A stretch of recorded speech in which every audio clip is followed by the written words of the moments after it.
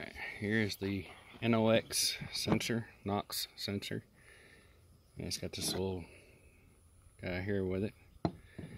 And the bank one sensor one is what it kept referring to. So here is the one guy right here. Got this bolt and another bolt right here. And if you follow that wire over, you can see him right there behind the dipstick. So what I'm gonna do, this is a socket. It's just a reg, I guess just a regular oxygen sensor socket. Um, I walked in with a sensor to parts store to make sure I had the right one. I've got a few of these, but I want to make sure I had one that would fit before I drove all the way home. And pick this one up. I just put it right on right like that. Right around like this. A little short piece of cheater pipe. Put on there. And I'm not going to get it real aggressive with it. But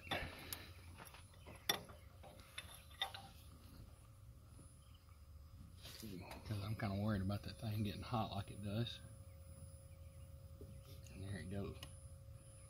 I, mean, I had to put a little force behind it, but it wasn't a massive amount of force. So what I'm gonna do now, I've got it broke loose, I'm gonna go ahead and unscrew that one and find the sockets over here to take this off, disconnect the batteries, and um, go ahead and get started putting the new one in. Wasn't really sure how big of a beast that was going to be to, un, to get undone. And that's why I didn't take the batteries loose first. There's one. Push this guy back out of the way.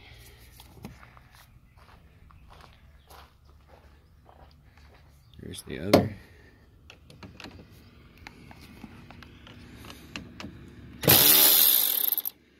Doesn't take much.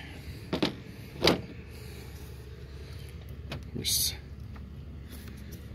slip this guy off and put him where he can't get back to the terminal.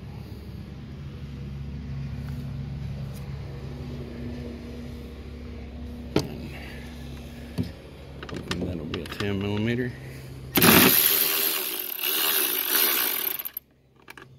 And it was. That one may be a little more fun to get on.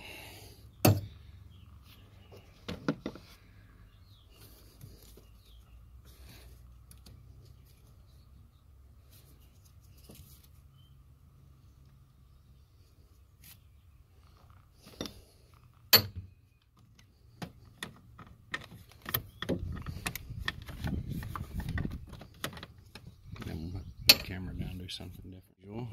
The little plug here was kind of aggravating. You pull that little red tab back. Once I pulled the little red tab back, I took a screwdriver, flat blade screwdriver, and got in there and just barely did turn it sideways to open it up and pushed against the corner at the same time and it come right undone. But, you know, they can be really aggravating. So here, this is what I got now. So now I'm going to finish unscrewing that part and I'll be ready to put my new one in.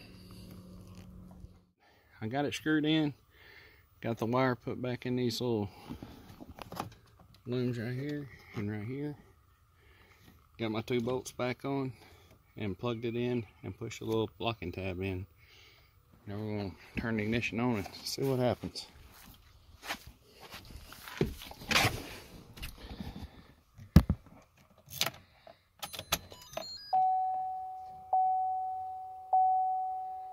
There was no check light on when I started it. It would come and go and come and go. Let's fire it up see what comes on now. No check engine light.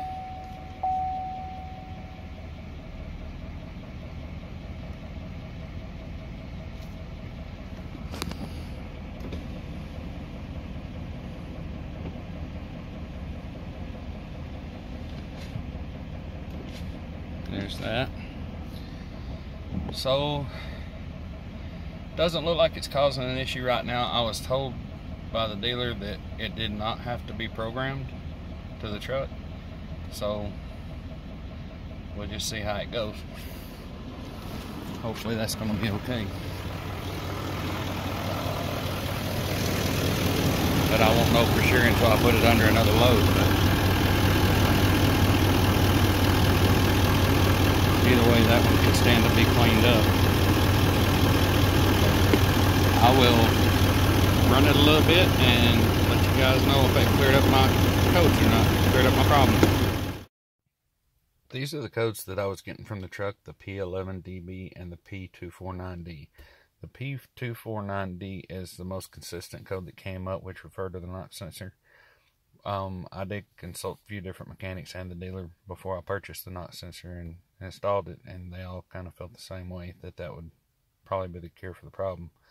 This is the schematic that they had given me when I purchased the NOx sensor for the location. If that helps anyone, I figured I'd post that up there also. Um, it's been about two days and about 600 miles. No more check engine light so far. Here's the part number for the position one NOx NOx sensor uh, that I just replaced. One two six eight zero two one five.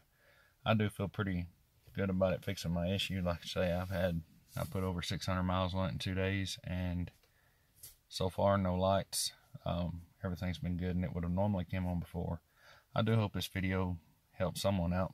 Um, I looked all over for videos about changing that particular sensor on this particular truck, and I didn't find anything. So, um, hopefully, it helps someone out. And thank you guys for watching.